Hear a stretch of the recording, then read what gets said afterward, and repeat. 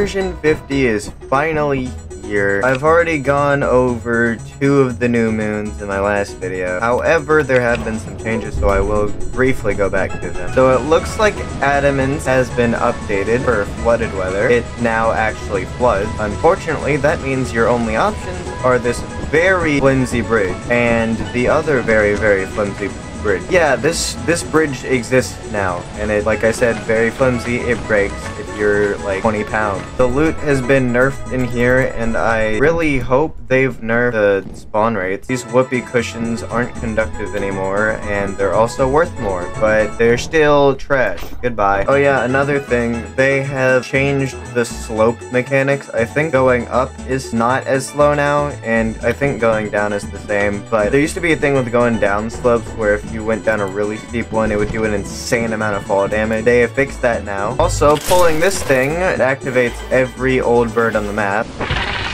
Holy crap, that scared me. But okay, this is one of the new enemies. It's just an adorable little guy. It makes you go a lot higher when you jump. This bridge breaks on the amount of times you jump on it. Let's see if I can show you what this guy does on my head. I jump. The guys that go in your head, they can only lift you if you're like not too heavy. I guess the floodwaters were glitched at the beginning because it's all the way down here. There is a shortcut you can take. I'm probably gonna die doing this. I'm dead. That's one of the major flaws with this map. It's really hard to get back to the ship and enemies can really easily camp it. That's all that's really different about Adamance. I'm gonna go to Artifice now. I don't think Artifice has really been changed much. The only thing that I think is different is that it can spawn spike traps now. Oh, I hear one. Hi, I found a friend. Want this? Oh, that's not good.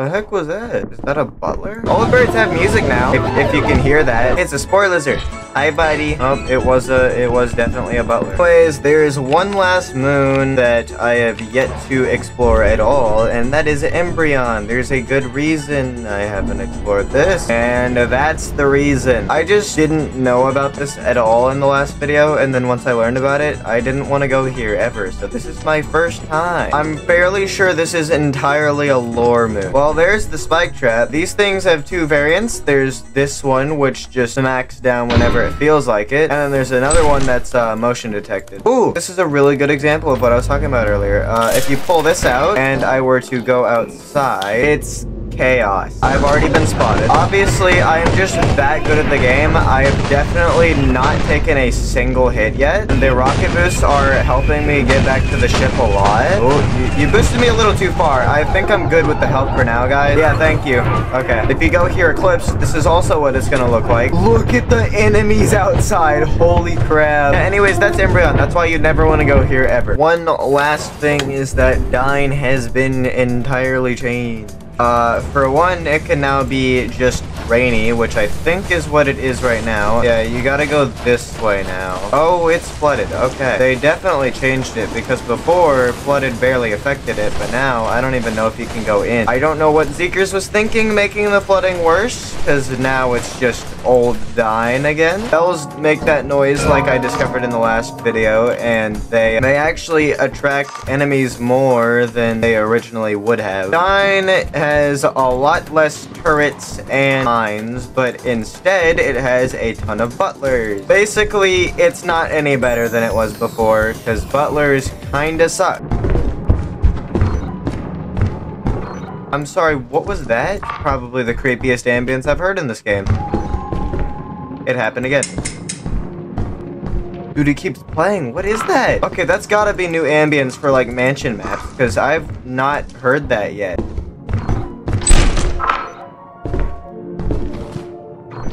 Dude, what is that? That is so, ah. Uh, it's like anytime I make any progress in here, it just plays again. Hi. Okay, so this is Butler. Say hi, Butler. Still bursting the bees. Bees still open doors. Although it does seem to be slower. That is very good. It doesn't change the fact that they can still open doors, and that's really dumb. Butlers take two hits in single player and like, I think eight hits or something stupid like that in multiplayer. Anyways, you can kind of cheese the giants if it would look this way. You can kind of just cheese the giant by doing this. You might have to bring it back to the ship a few times, but it's a lot easier to do with the knife because you can actually visually see if you're hitting Don't get too close because they can still grab you. And there we go. So that's all that there is for moons. I'm gonna go back to Adamance because I feel like that has the highest spawn rate of the little guys. Tulip snakes, that's what they're called.